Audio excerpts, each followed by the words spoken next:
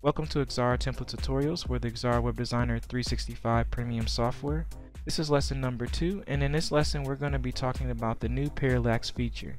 So let's go ahead and get started. The first thing that you want to do is go to your toolbar and click on the rectangle tool, and we're going to go ahead and draw two rectangles in our workspace. And I'm going to go ahead and right click and drag on that rectangle to create a second one and I'm going to change the color of the second rectangle. Okay, so once you have two rectangles in your workspace, the next thing that we want to do is right click on one of these rectangles. In this case, I'm going to right click on the lighter one and I'm going to go to web animation and that's going to bring up the web animations properties dialog menu and we're going to click on the reveal and scroll tab. Now under this tab, we're going to actually ignore the first sentence which says a reveal animation runs when the object comes into view in the browser window. In this case, we don't want to deal with that. We want to deal with the other component. So let's read that. A scroll animation makes the object animate as the page is scrolled. In other words, as the page is being scrolled by an end user or, for example, a visitor to your website, the animation is going to be dictated or controlled by the speed at which the page is scrolled. So there's a direct correlation between the speed at which the object will animate and the speed at which the person who's on your website scrolls your web page. So let's read the next part of this. The parallax scroll animation makes the object scroll at a slower rate to all your other page content. So when you're scrolling through that page, your standard page content is going to scroll at a similar rate in relationship to the speed at which the person scrolls your web page. But the parallax effect is going to slow down the objects that you apply it to in comparison to your standard page content. So in other words, as that person scrolls through your web page, certain objects are going to scroll slower in relationship to your end user scrolling through your web page and the standard page content is going to scroll at a normal rate in relationship to how fast they scroll through your web page. So let's go ahead and click on the scroll radio box here. And then under the animation uh, tab here, we're going to click on the drop down menu and we're going to click on the parallax option. And once you click on the parallax option, to the right of that we can control the speed at which the animation will be applied in this case the speed at which the rectangle will scroll in relationship to how fast a person scrolls through your web page. The further to the left, the slower the object will scroll in relationship to scrolling through the web page. The further to the right, the faster the object is going to scroll in relationship to using the scroll bar in your web page. So let's go ahead and set the gray rectangle to about the midpoint for its scroll speed okay? And that's going to give it a somewhat faster scroll speed for the parallax effect. And then let's go ahead and click the apply key. And then let's select the darker rectangle here. And then let's set it to scroll animation and then set it to parallax. And this time we're going to set it all the way to the right. Okay? And this should make the object scroll at a similar speed or the exact same speed as your standard page content. So let's go ahead and hit the apply key and then hit OK. And now we're going to go to our toolbar again and select the text tool and we're going to create some text to the right side of this darker rectangle. In this case, I'm going to write parallax effect. Okay, and we're going to have that text sitting right to the right of that. So let's go ahead and hit the F5 key. And now if we scroll through this web page, we're going to see how this parallax effect works. So if I scroll downward, you're going to see that the darker rectangle will go faster than the lighter rectangle because we set the darker rectangle to scroll at a faster rate in relationship to scrolling through the website. So if we scroll down, you'll see that the darker rectangle is faster, okay, at scrolling out of view on the web page.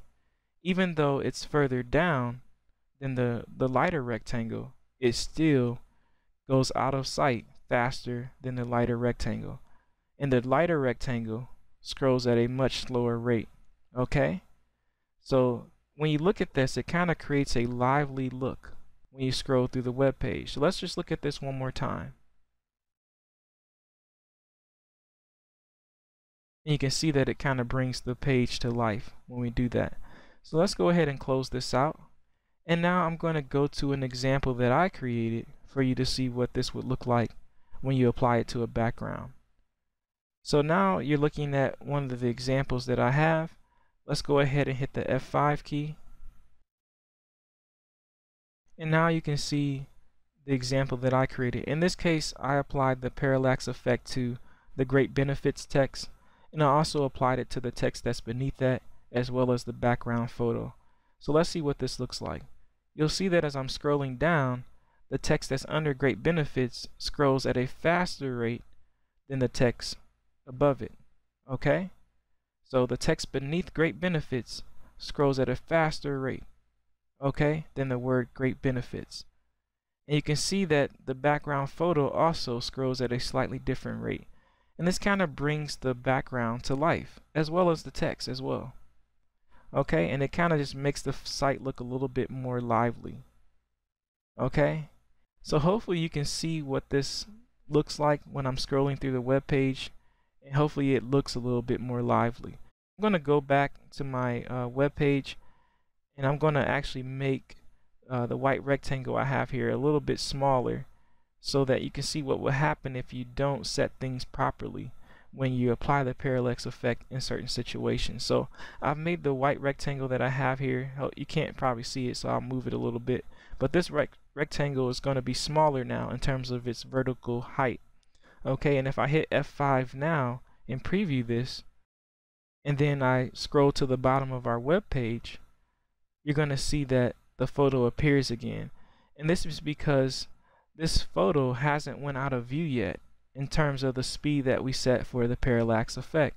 So it's important that you cover up the photo until it's fully out of view when using the parallax effect. Okay? So since it's not out of view, what we need to do is we need to stretch this rectangle to be taller to cover up that photo. In this case, I've placed the rectangle to be on top of the photo within my layers. Okay, and if you look in the page and layer gallery here, you'll see that this rectangle is above this photo. So if I select the photo and I go to page background, you'll see that the photo is highlighted with a, a darker blue behind it. So if I select the right rectangle, you'll see that it's on the mouse off layer.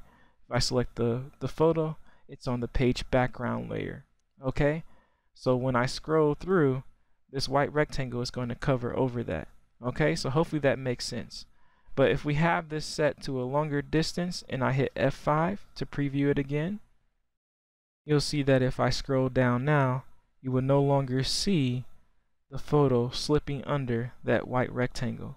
Okay, now if you want to create that kind of effect where the photo reappears again, you could do that, but that's totally up to you. But in most cases, I'm assuming that you don't want that photo to appear a second time.